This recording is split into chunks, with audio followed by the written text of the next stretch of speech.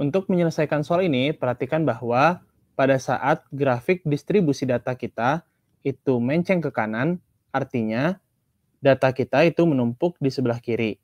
Dari sini, kita bisa lihat bahwa nilai dari modus kita akan lebih kecil daripada nilai median kita.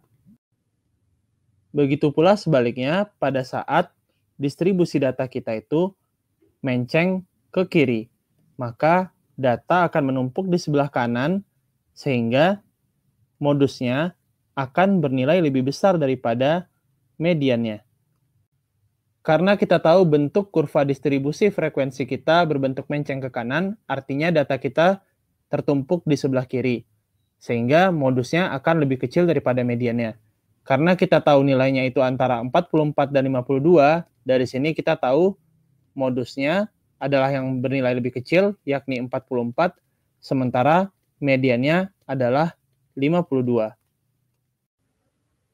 Selanjutnya kita akan menentukan rata-rata dari data kita yang biasanya kita misalkan sebagai X bar.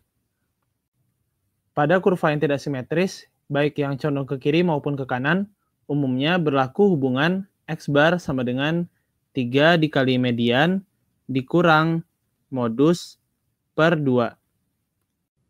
Dari sini kita peroleh bahwa X bar sama dengan 3 dikali 52 dikurang 44 per 2. Yang sama dengan 56. Maka begitulah cara kita menyelesaikan soal ini. Sampai jumpa di pertanyaan berikutnya.